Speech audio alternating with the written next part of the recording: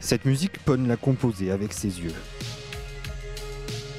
Atteint de la maladie de Charcot, il est paralysé, mais grâce à ce petit boîtier, il peut déplacer la souris de l'ordinateur avec son regard. Il vient de sortir un album, Kate and Me, en hommage à l'artiste britannique Kate Bush. J'étais quand même assez fan de l'univers des années 80 ayant grandi dedans, mais je trouve tout simplement cet artiste incroyable. Pon entend tout ce qu'on lui dit mais il ne parle plus. Cette voix est générée par l'ordinateur. Ça demande un petit apprentissage, mais c'est pas si difficile. Il suffit de fixer les lettres et ça écrit. En revanche, faut être patient. Ambiance scandale, danse de vandale, ça d'où vient la chaleur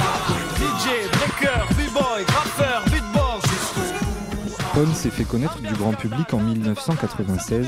Il est alors compositeur pour le groupe de rap Funky Family. Les albums s'arrachent, les récompenses pleuvent. Le groupe décroche deux disques de platine et trois disques d'or. Mais en 2015, sa vie bascule. Il souffre de la maladie de Charcot. Au début, quand on vous annonce que vous allez mourir, forcément c'est difficile.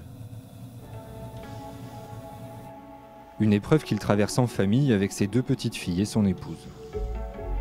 L'épanouissement, il vient en fait du fait que on revient à l'essentiel.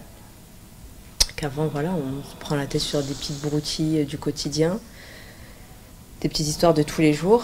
Et euh, du coup, quand on se concentre en fait juste sur l'essentiel en vivant euh, ben, le moment présent à fond, ben, ça change tout. Et donc, du coup, oui, on se rend compte qu'avant, on n'était pas si heureux que ça en fait. Pon démontre qu'une vie est possible malgré la maladie. Même quand il termine un morceau par des applaudissements, ce n'est pas par nostalgie des concerts passés, seulement un moyen de se rappeler de bons souvenirs. Je dois dire que je suis fier de moi et de ma famille pour avoir réussi à retrouver une vie normale.